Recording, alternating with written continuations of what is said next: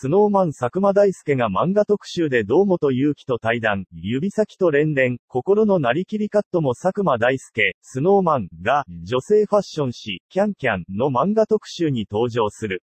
幼少期から漫画に囲まれて暮らし、コレクションは数千冊に上るという、芸能界きっての漫画好きな佐久間、キャンキャン、読者世代が読むべき漫画を様々な角度から紹介する特集企画に8ページにわたり登場する彼は、最近お気に入りだという作品、愛してるゲームを終わらせたい、の作者、堂本祐樹と対談し、堂本から貴重な制作秘話を聞き出している。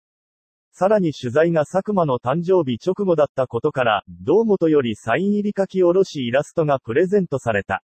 このほか佐久間は読者から似ているとリクエストがあった森下数、指先と連連の登場人物、心のなりきりカットにも挑戦。